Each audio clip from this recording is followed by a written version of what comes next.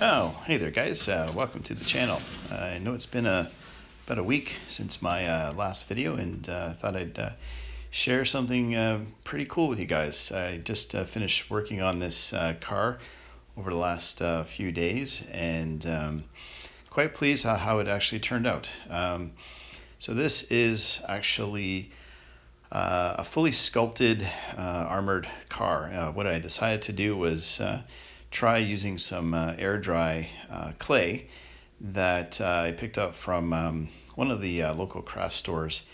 And uh, just, yeah, I just wanted to see what, what it would look like if I started using that for building armor. And um, this is basically, well, this is basically what I came out with. So um, yeah, maybe perhaps if you're interested, take a look at the build video and um, yeah, and hopefully you enjoy it. Thanks a lot.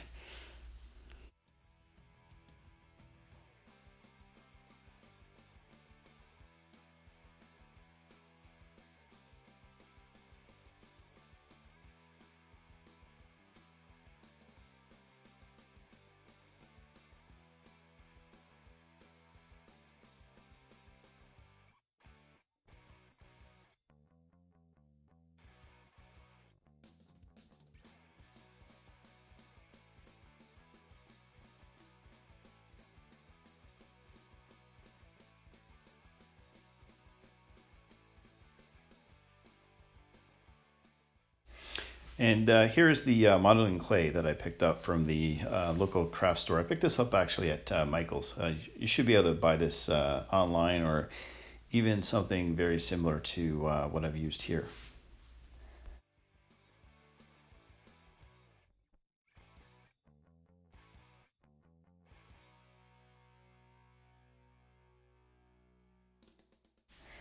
I also recommend uh, picking up a roller. Uh, this is a non-stick, uh, basically an acrylic uh, roller that uh, you can use for uh, kind of smoothing out your clay pieces. And I used wax paper actually in the background here to to prevent it from sticking to to the table.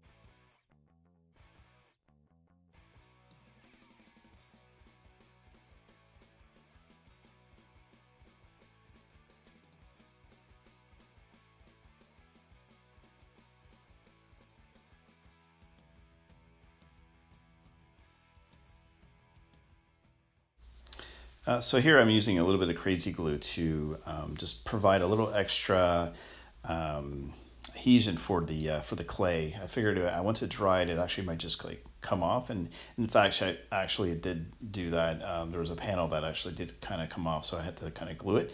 Um, I also use a, pencil to do the rivets, but I, I, think next time I'll use something a little smaller, perhaps like uh, the end of a, a, a like like a pin or um, even a paper clip actually would work uh, really well as well.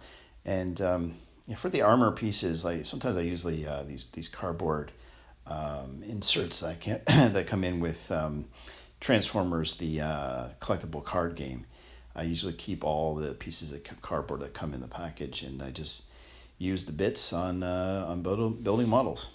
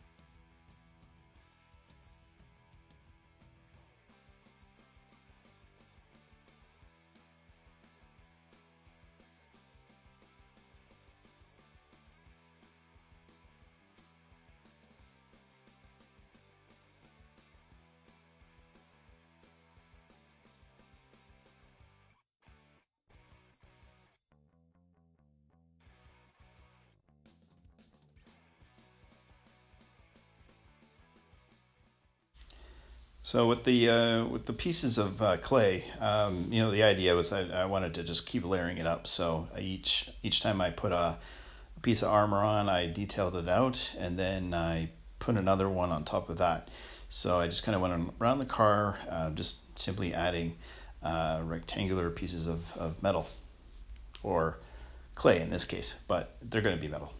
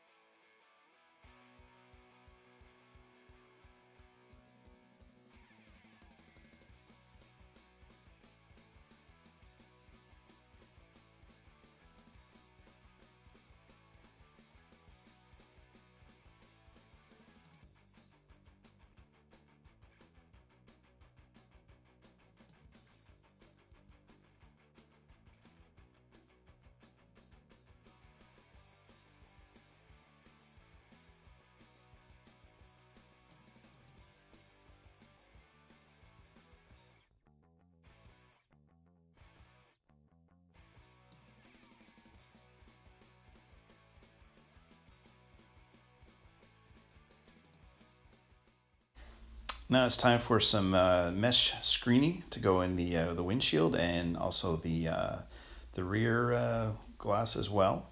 Um, it's getting it was getting a little dark outside, so I'm just kind of that's why the lighting's a, a little bit uh, darker. But um, I was starting to lose a little bit of my uh, my sunlight in the backyard.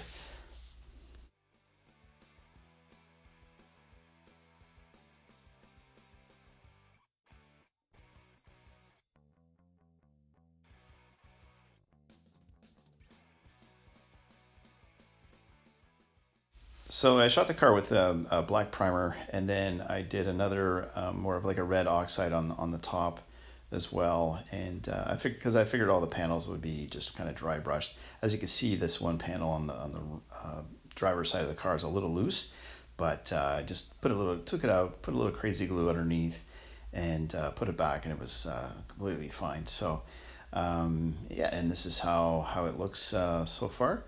Um, I always like to do like a little test fit, just kind of see how things are things are going in general, and um, and then at this point, what I wanted to do was I took my uh, my trusty uh, blush brush and uh, took some a little bit of the silver uh, metal paint and uh, yeah, just start uh, dry brushing the whole vehicle, everything all together um, in one shot.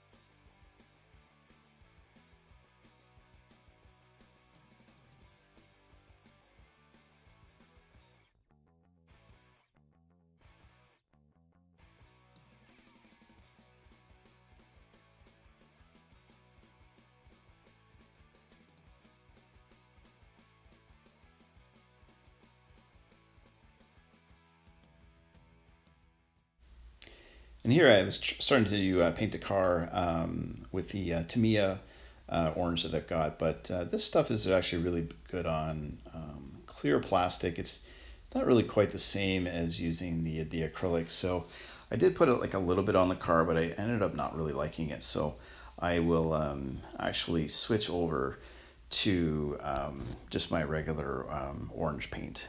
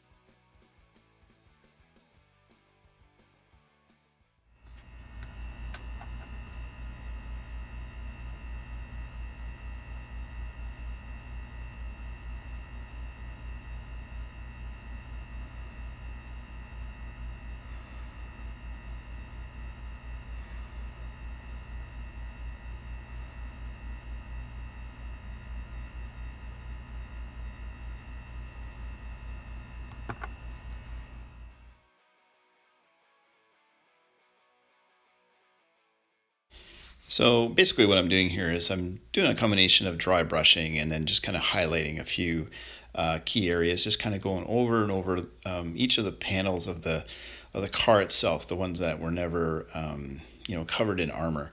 And uh, I was quite pleased with the way it was looking. So uh, yeah, I just kind of kept up that pattern and um, I'm sure it was going to look uh, pretty, pretty nice in the end.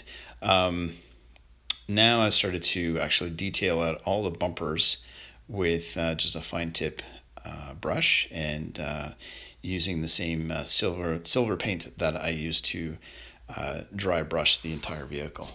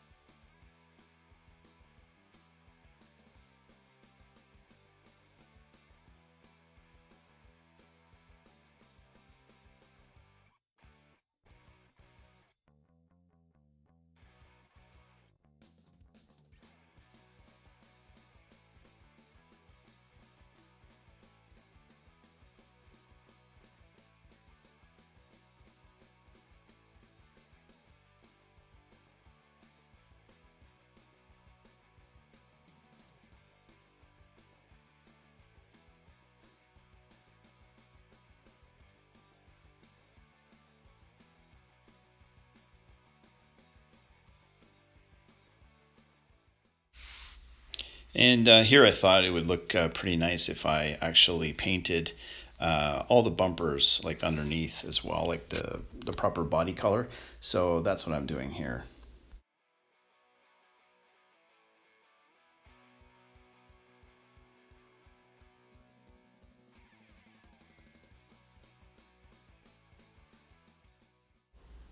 So just doing a little bit of a test fit, and uh, what I what I thought was um, my side pipes it needed a little bit more of a contrast. So I uh, decided to use my paint marker and um, just kind of go over the all the pipes and the exhaust system itself with uh, with this uh, silver marker.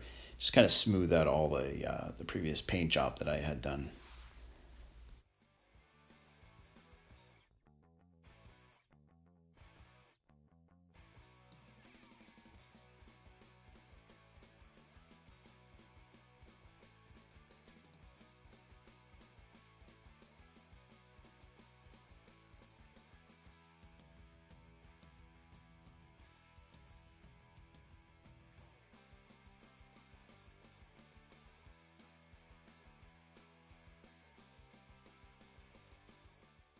For the rear bumper, I actually like the fact that there was already sort of a, a bit of a gouge in it, so it kind of kind of looked pretty cool once I was getting it all highlighted. It, it looked like actual, uh, you know, damage on the vehicle. And uh, yeah, just kind of testing things out to see how everything's looking uh, together now. And um, I think it's uh, turning out uh, pretty, pretty good at this stage. Um, I got to do something with the back and possibly uh, fix up the wheels as well. I was actually contemplating making one wheel a different color from, from the rest of the car or rest of the, the, uh, the wheels, but um, you'll, as you'll see in a second or so, um, I kind of I kind of came up with a new idea.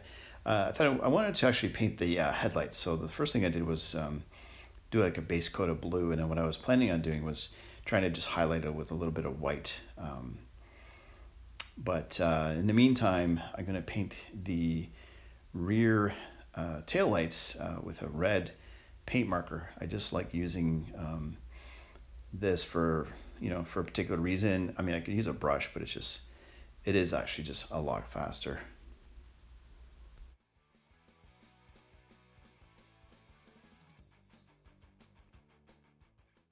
So this is actually something I just kind of did uh, by fluke, and uh, what I was doing was I was just going around the uh, taillights uh, with um, like a mechanical pencil and just kind of cleaning up any of the uh, marker that kind of got over the edges a little bit. But what I had noticed is it was actually creating a black uh, back panel that was uh, sort of metallic, and I thought it looked really cool. So I kept doing that and had interesting results.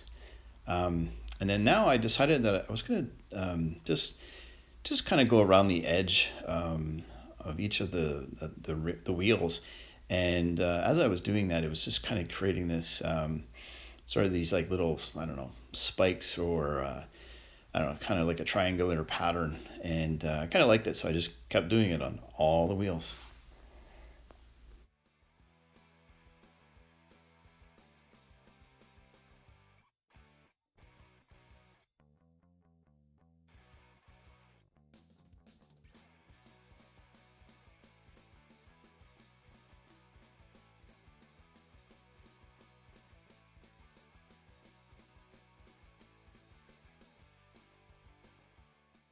So I felt my mesh uh, needed a little bit of uh, metal in it, so I, I got a little bit of the uh, silver paint and just kind of went over uh, the front uh, mesh as well as the back.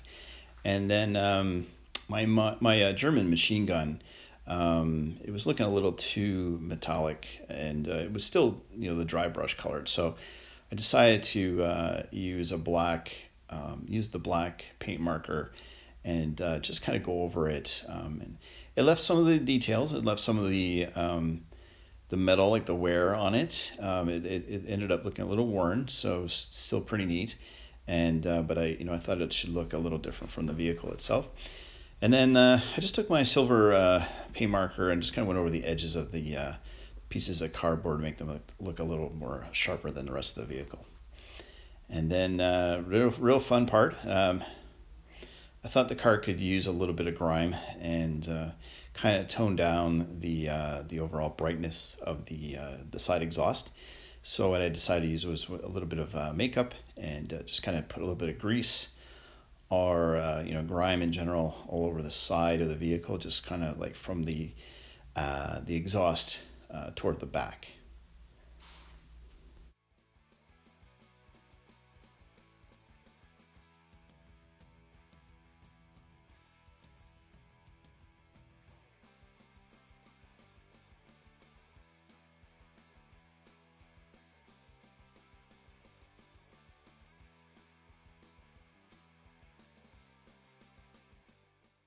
Then I took uh, uh, some lighter colors and I started to cake it on the uh, the rear uh, piece of mesh. I wanted to look make it look a little rusty.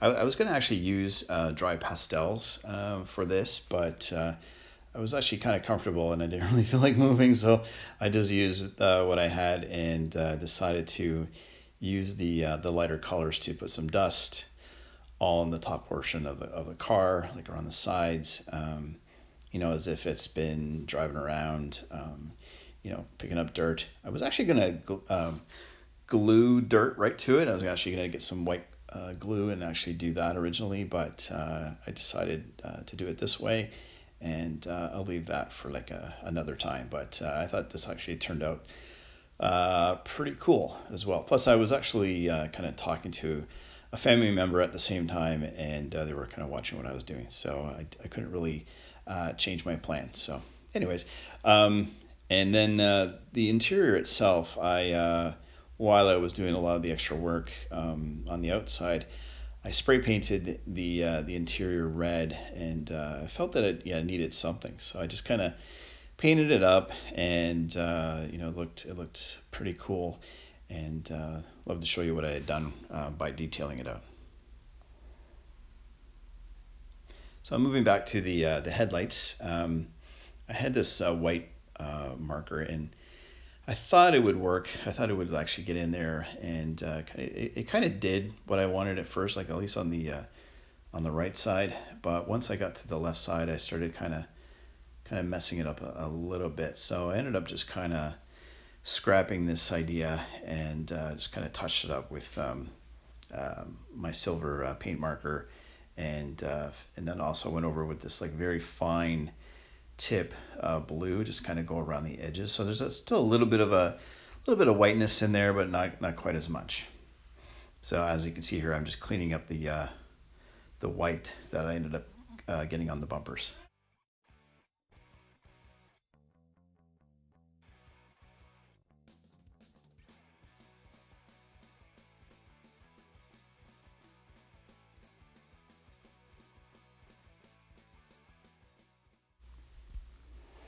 Yeah, and then uh, for the interior, I just started to uh, to uh, use some red marker just to detail like uh, the steering wheel, uh, just some edges of the seats, and uh, just whenever I can see that was um, you know kind of easy to get at with the with both actually the silver um, marker as well as the red. with the silver, I actually highlighted the the stick shifter, the NOS tanks that were actually in the back, as well as the the tacks, the three tacks in the in the front of the dash. And uh, yeah, this is the uh, final re result of the whole whole project. Um, I thought it was uh, well, certainly it was a lot of fun uh, to do do something like this. It was actually kind of simple, really. I mean, just adding a machine gun and then just doing the sculpted um, armor with the clay and uh, doing a lot of great deal of dry brushing on it. It, it, it turned out to be uh, um, you know, pretty fun. So this is the uh, final result of the uh, the interior itself. As you can see, it's got uh, you know just kind of added some silver to the uh, NOS tanks and um, kind of highlighted the the interior with uh, just the red marker and the silver one as well. The uh, the base is fully detailed. Um, it's got um, you know the I guess the body panel underneath are all painted orange just like the uh, the car itself and um, the exhaust system, everything is it's not bad. I mean, I could have done a little bit better on um, on the one side, but uh, it's pretty good in general. And uh, I never actually painted the uh, tires black. I just kind of left them the way they were. Uh, the original sort of um, metallic primer that I had used. I just figured I'd just leave them kind of dirty like that. And uh, yeah, the rest of the the actual body itself um, turned out to be pretty pretty cool. So I'm going to be using this uh, stuff uh, more often now. Um, I've got a giant bar of it, so I should uh, use it. It was about 12 bucks. And uh, yeah, I want to definitely get the use of it. Actually, it was $12 for the clay and then another about 12 bucks for the, the roller itself. So I definitely will be um, making use of of that material. Um, but yeah, the car looks uh, great and once everything's together. And uh, hope you guys liked how the uh, the wheels turned out. I think they look pretty cool. And uh, yeah, you can see the uh, the red um, part of the dash. You can kind of see that coming through right there. Um, I thought that was pretty neat. You know, add some extra detail. You know, if you can, uh, it's always always good to do. So anyways, uh, hopefully you guys uh, like this uh, build. You know, please let me know in the comment section down below uh, what you think. If there's uh, some other cars that I should be trying to work on, um, you know, try to always improve and just try to do different things. So, um, you know, hopefully you like uh, what you see, and if the, the, things you see are actually imaginative or not, feel feel free to let me know in the comments down below. So, hopefully you're having a great day, and thanks a lot for stopping by.